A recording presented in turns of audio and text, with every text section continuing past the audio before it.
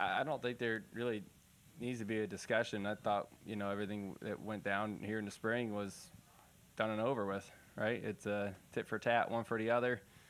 I said it before, I'll say it again. You don't want to mess with me because I'll, I mean, I'm, I'm not going to get pushed around. I've done that plenty in my career. It doesn't work like that for me anymore. So, um, you know, I think it's for everyone's best interest. We just focus on racing in the playoffs and trying to win championships. He's got a great car. He's got a, he's a good driver.